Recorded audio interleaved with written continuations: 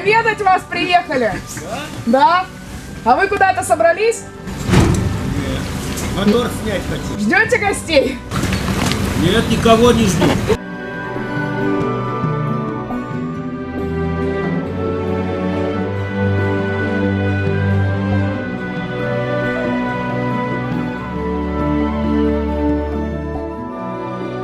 Это ваше первое фото? Да, в, в интернет попал. Аборигену, залива, Робинзону. Вы Робинзон. Робинзон. Вот мое жилье, это спальня моя там. А это как летняя кухня была. Ну ничего, выживаем. Живем, Не выживаем. скучно вам? Да, уже привык.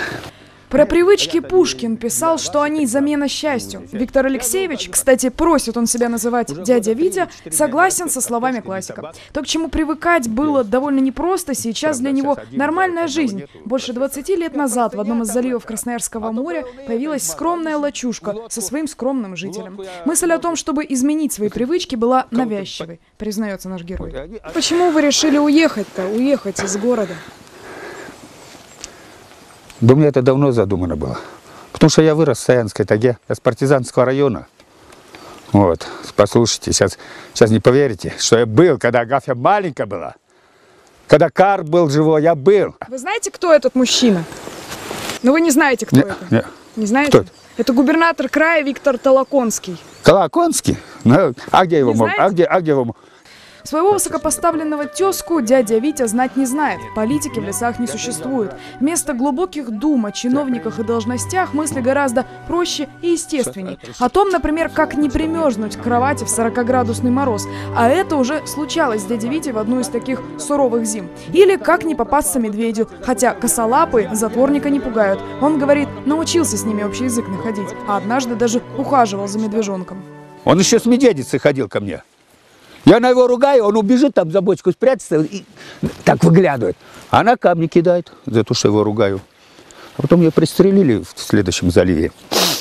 Все, мне, мне пришлось кормить его. Не боитесь Кого? медведей? Так я и на, друг- на других медведей частенько это, с ними встречался, даже на раненых. Нет. В прошлом дядя Витя был капитаном судна «Ярославец». В аттестате у нашего моряка все пятерки. Сейчас же дядя Витя капитан без корабля, хотя лодочка у него все же есть. Пусть и штурвал будет поменьше, чем раньше. Зато он главный помощник. В море, в Красноярское море, капитан выходит каждый день, ловит рыбу, главное в рационе, а в лес ходит за грибами и ягодами. Зная все о том, что ядовито и опасно, как правильно срезать ножку гриба и на что клюет оку носорожка, дядя Витя дивится тому, что совсем не удивляет людей с большой земли. А вы знаете вообще, как им пользоваться? Нет. Ну, Ну, ви- ну видел, что вот что-то пальцем тыкают, все. Ну и как вот, вот что за пятнышко? Нажимаю. А, ничего не кажет. Вот на большую нажмите. Вот на это? Ага. А, Посмотрите, как вы думаете, что это такое? я что-то, я не знаю, что такое. Что ей делать надо? Не знаю. Ну, ш- давайте ш- ша- шабы какие-то стоят. Я первый раз такую вижу Ну, штуку. на что это похоже? Ну вот кнопочка, а для чего она? А на что похоже? Вот на эту. Только, только это гумеранка или как его? Только там с палок сделано, а это бог его знает. Пролетит он обратно, если его кинуть. Нет. Нет? Это называется спиннер. Ну и что и что ты с ним делаешь? Ну и что? Ну Успокаивает нервы, говорят. да, ну, Как думаете, сколько стоит? до копейки, что? 600 рублей. 600 рублей?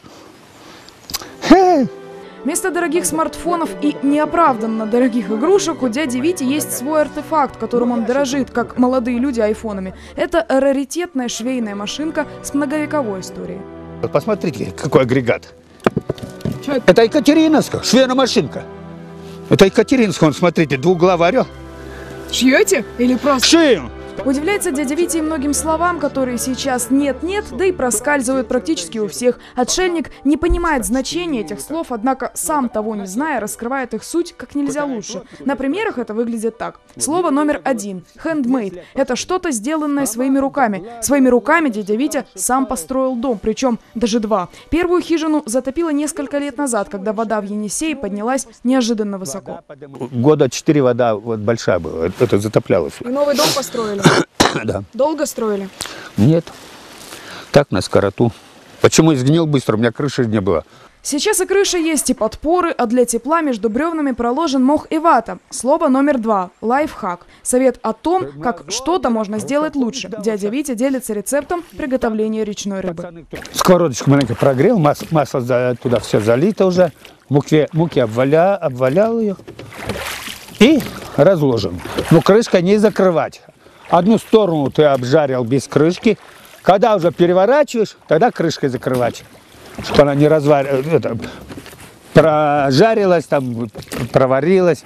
Ну, и она, и получается, не раскисшая, ну, Вкусно? сильно вкусно получается, да. И напоследок слово номер три – дауншифтинг. Человеческая философия осознанного отказа от материальных ценностей, что называется «жизнь ради себя». Не хотите уезжать? Город, Не- нет, я до конца, до конца буду. Если вам предложат квартиру в Красноярске, вы согласитесь? С дядей Витей мы все живем на берегу одной реки, но это не меняет того, насколько дядя Витя отличается от горожан. И самим образом жизни, и мыслями ее сопровождающими. Говорит, даже малейшего желания нет уезжать из дома, от леса, воды, животных. И не появится такого желания никогда. Так решил дядя Витя, отшельник и капитан Красноярского моря. Елизавета Курочкина, Виталий Субботин. Воскресные новости.